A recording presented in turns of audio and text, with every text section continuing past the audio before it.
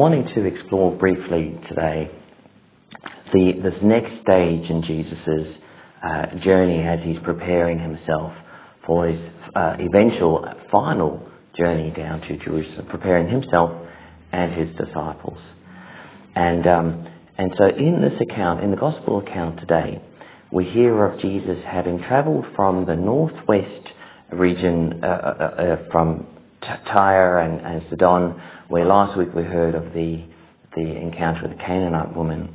And now we found him having travelled across to uh, Caesarea Philippi, um, which is northeast of, of uh, the, the, uh, uh the Sea of Galilee, uh, the region of Galilee, and is under the rule of Philip the Tetrarch. And Philip was one of Herod the Great's sons. When uh, Herod died, his kingdom was split up between his sons. So it's, it's quite important that when we uh, read the gospel, we, we pay attention to some of the minor details that we might often just read over, gloss over. That's not important where this was set. Uh, let's get down to what Jesus was saying. But if we scratch a little bit deeper at some of these, these minor details, it enriches uh, greatly the passage. So the, the gospel reading today began with this the sentence now, when Jesus came into the district of Caesarea Philippi, he asked his, disciples, Who do people say that the Son of Man is? So we have a setting. The, uh, the Gospel uh, writer has set this uh, in the town of Caesarea Philippi. Now, how might that enrich what we what is to follow? The question that Jesus asks and the answers that the disciples and Peter give. So, what do we know about Caesarea Philippi? What, what do you know about Caesarea Philippi? I just mentioned to you it's uh, northeast of, um, of, of, Galilee. It's under the rule of, of Philip the Tetrarch. Um, but what is, is about the setting that was important to mention? Possibly important to mention. What can we glean from that? Well, a couple of things I want to share with you about this town so uh, I want to read you from one of my uh, books from my library, and um, this is what it says about about Caesarea Philippi. So of Herod's three successors, Philip had the most uneventful reign. He inherited the rugged north with its towering mountains, rough uh, uh, steppeland, and broad plateaus. He ruled his predominantly Gentile population with, with what the historian Josephus called a moderate and easygoing disposition. In the beautiful lush regions at the headwaters of the Jordan River, he enlarged Panias, made it his capital, and called it Caesarea Philippi to distinguish it from Herod's great city, Caesarea, which was on the coast. So we know that it is mostly a Gentile, uh, uh, um, Gentile population, um, um, Philip ruled it fairly easygoing. Um, he renamed it Caesarea uh, Philippi, and uh, this is partly to uh, give tribute to Caesar uh, for um, for you know uh, who who um, uh, ruled over um, the Holy Land, but to give tribute to Caesar and then to also name it after himself, Philip. So it was distinguished from Caesarea on the on the coast. Um, but there's more to it. Uh, and another one of my, um, uh, my books from our library. Um, the area was scattered with the temples of the ancient Syrian Baal worship. So it had temples all over dedicated to the old gods, the, the Canaanite gods. Uh, not only the Syrian gods had their worship here, um, hard by Caesarea Philippi, there rose a great hill in which was a deep cavern and that cavern was uh, said to be the birthplace of the great god Pan. So previously, uh, before Philip changed the name of this town to Caesarea Philippi, it was called Panias, and that was in tribute to the Greek god Pan.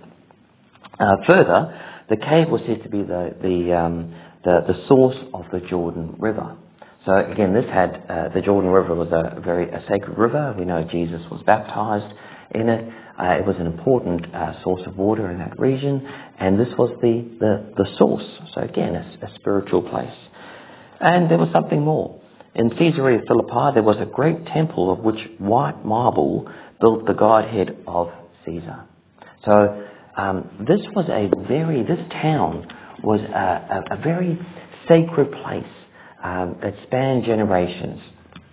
It had the, the worship to the old gods, to, uh, to Baal, to the, uh, the Greek gods, Pan, to the, the Roman god, Caesar was a god, uh, uh, uh treated as, as a god. Um, and, and so Jesus takes his disciples to this region, uh, surrounded by all this, um, uh, this, this uh, pagan worship.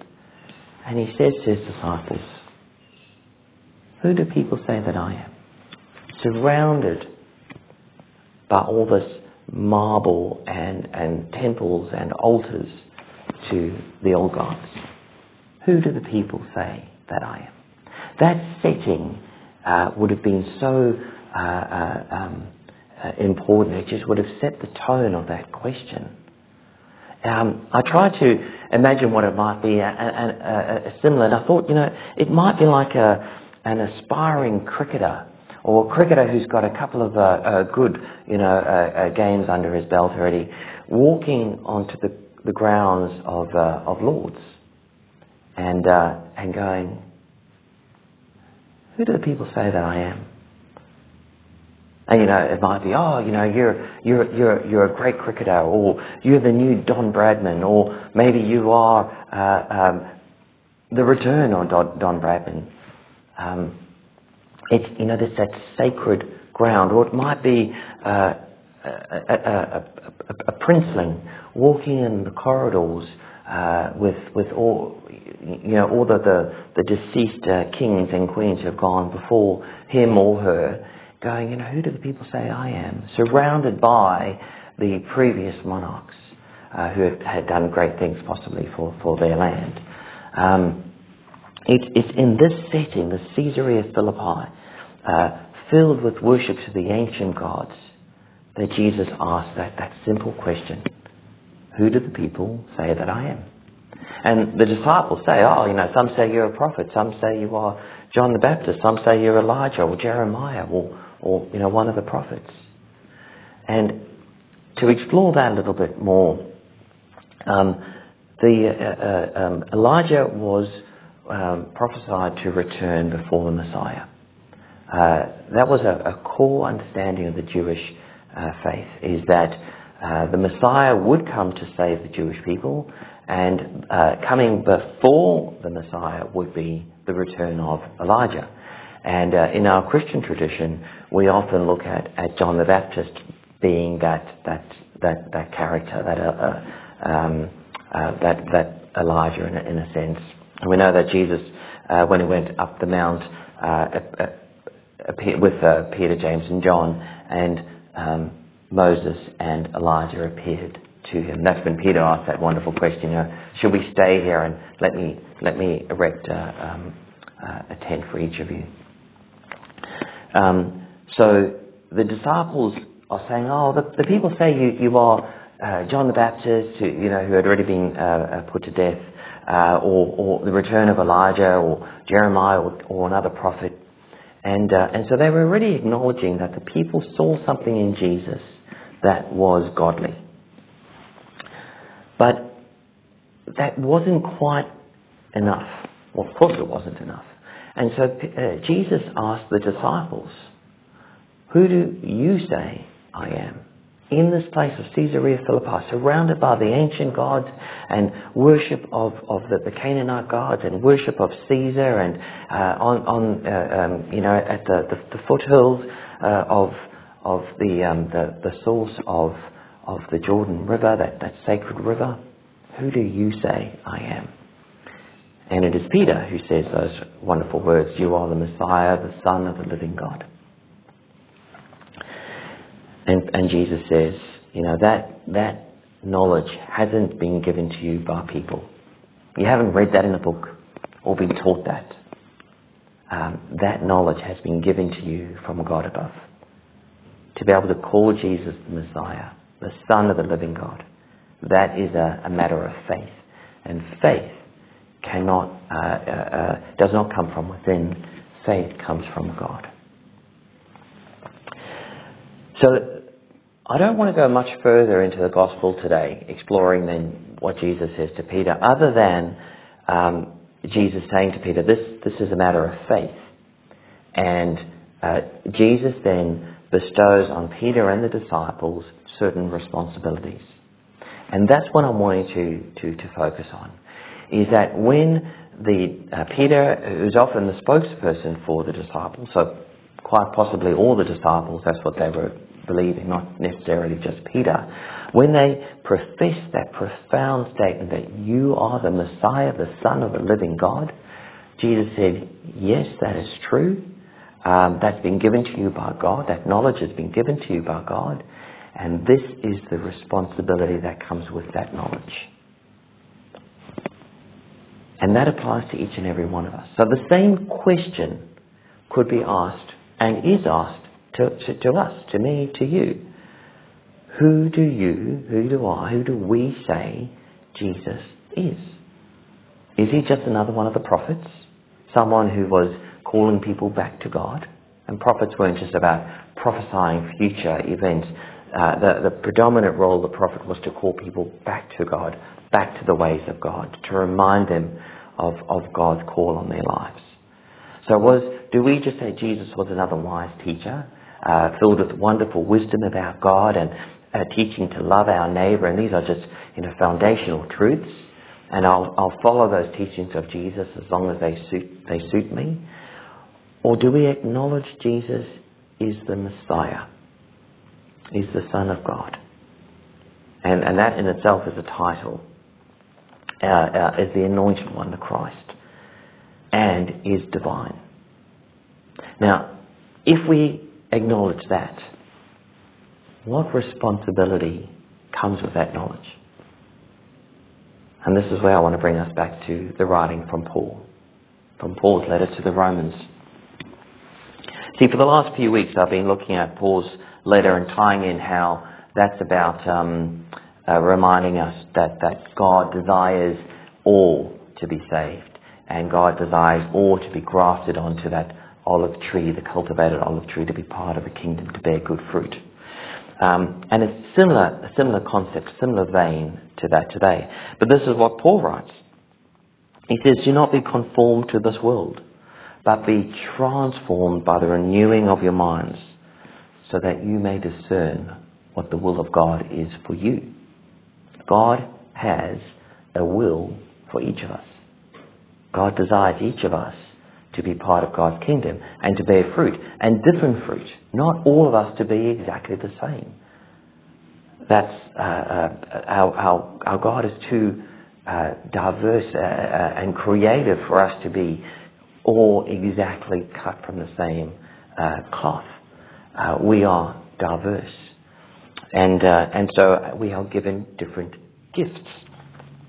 Um, but you know, to discern Paul reminds us that we need to be uh, re- uh, uh, renewed um, uh, of our minds, to be transformed, not to conform to the world, what the world would want us to behave like, the, the worship of the shopping centres and the, the, the, the sporting uh, heroes and, and you know what other people we want to worship, whether movie stars, um, musicians, politicians.